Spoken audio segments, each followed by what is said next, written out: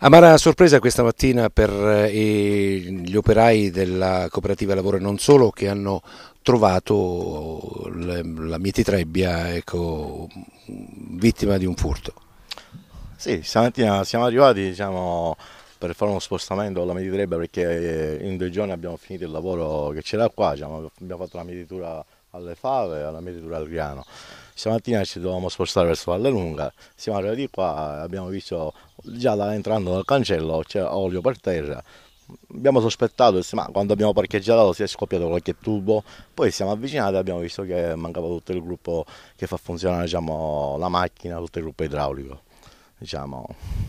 Il mezzo era parcheggiato qui fuori? Sì, il mezzo era parcheggiato qua fuori, però non penso che la gente ci abbia tutti questi interessi a smontare diciamo, dei pezzi, diciamo. però penso che diciamo, al nostro territorio noi siamo di Corleone e fino ad oggi mai nessuno si è lamentato che gli è mancato mai un pezzo di qualcosa.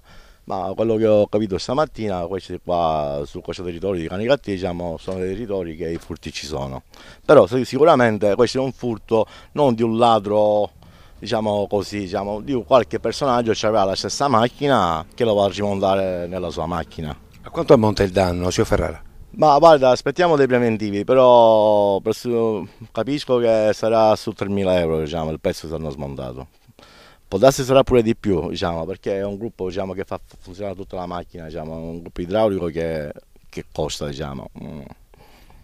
Se la mente non mi inganna, sempre qui diversi anni fa però hanno mh, mm, danneggiato il, il portone d'ingresso in ferro del capannone. Sì, anche negli anni passati diciamo, abbiamo subito, diciamo, hanno rotto il portone, sono rubati dei tubi dentro, diciamo, dei furti li abbiamo subiti, però pensa, non lo so, che noi pensiamo che è sempre un anno, che la, pensiamo che la gente può cambiare pure, però fino ad oggi abbiamo capito che che la gente non cambia, eh, vuole vivere sempre rubando e facendo del male.